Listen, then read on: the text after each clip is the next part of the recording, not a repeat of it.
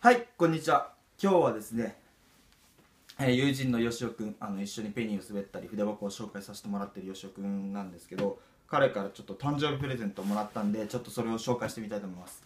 まあ誕生日プレゼントといっても俺の誕生日は9月24日なんでまあ全然違っちゃ全然違うんですけどまあ遅れたっていうことであと合格祝いも含めてもらいました。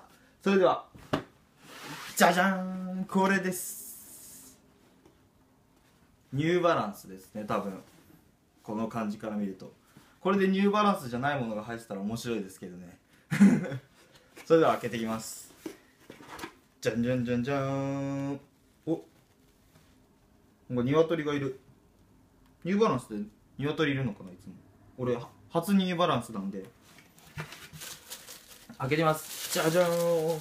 おおかっこいいじゃん。ネイビーのいい感じじゃん。かっこいい。やった。ありがとうございます。かっこいいな。それではちょっと詳しく見ていきましょ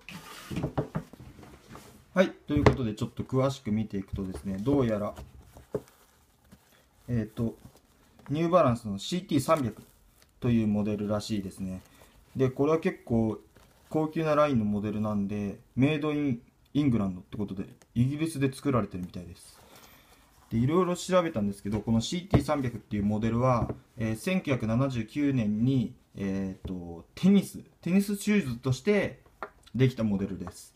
なんでその1979年らへんの昔のテニスシューズをこう復刻して作ったちょっとクラシックなデザインのえーニューバランスみたいですね。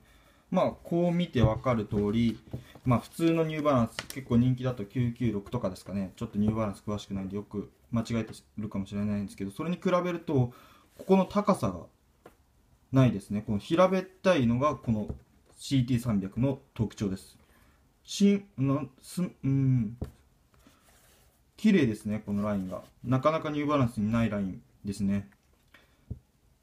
でここがこうこっちの方が高いですからね。でそこソールっていうんですかね。はこんな感じです。これもテニスシューズなのかな。まあこんな感じで。あとこれの特徴的なのはわかるかな？ちょっと。これ。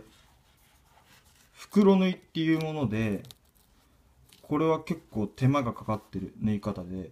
えっ、とこれ履いていくとですねこれここが押されるんであのその履いてる人の形にフィットしていくように調整されるようにこういう風に真ん中で縫ってあります。なかなかこういう靴は珍しいです。手が込んでます。まあ色は白もあるみたいなんですけどまあネイビーかっこいいですね。こんな感じで。珍しいな。 Made in the UK United Kingdom。このユニオンジャックもかっこいいですよね。えー、っとじゃあ実際にちょっと履いてこようと思います。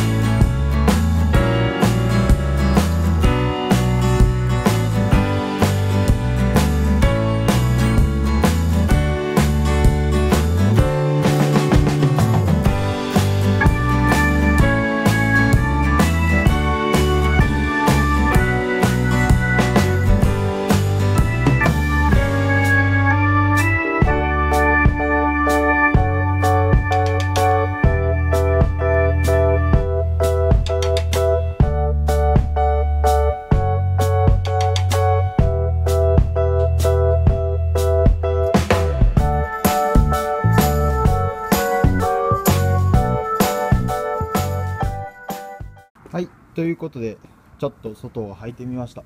履いた感じすごくいいです。すごくいいです。履きやすいし。